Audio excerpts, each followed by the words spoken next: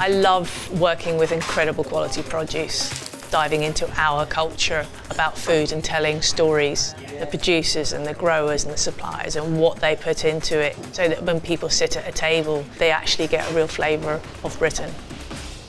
I think we are quite innovative in the UK in restaurants when it comes to sustainability. We have the challenge of making food really exciting but working in harmony with nature and being sustainable. For me as a chef, that challenge is absolutely fantastic and a really exciting time to be cooking now. We really look around us and what, what we see can be sustainable around us. That's through everything, economically, through the environment, through the people, human resources, through cultures, skills, and really think about everything around us and what we can do and the difference that we can make about what we buy, what we use, who we work with. The British restaurant industry has been a leader in the way people feel about sustainability and food sustainability in restaurants has become more and more recognised as an absolute key part in our battle to combat climate change. We are recognising that something like 30% of global emissions come from the food industry. What Clare Smyth is doing here at Core is incredibly important. She is looking at vegetables in a completely different way. She's putting them at the centre of the plate. She is valuing vegetables and every part of the vegetable. I started out my training in French kitchens. I really questioned myself later on in my career thinking I want to know a bit more about where I'm from and tell the story as a British chef. I was ready to challenge myself, to start to think about food differently and look at myself, where I'm from, what I grew up eating. And then it was a case of using that creativity to make something really spectacular with something very humble. And it is something that I love, the challenge of taking an ingredient that is easily grown around us and creating something spectacular from it that we're serving in a three Michelin starred restaurant and the surprise that that gives people is just great.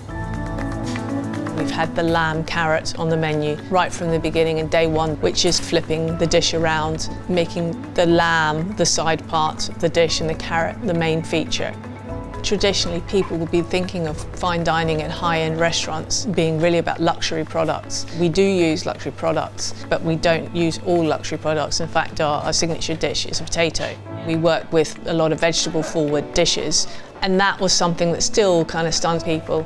The work that goes into producing those vegetable-based dishes is incredible. And there's as much going into the farming of a beautiful potato than there is that piece of beef. That's all about just knowledge and perception. British produce is very important because it is fantastic.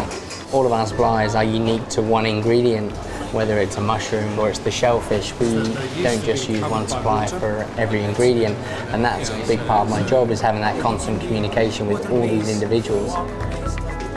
Clare really recognises that sustainability is about nurturing suppliers, it's about wonderful produce, it's about looking after the planet, but it's also about human sustainability.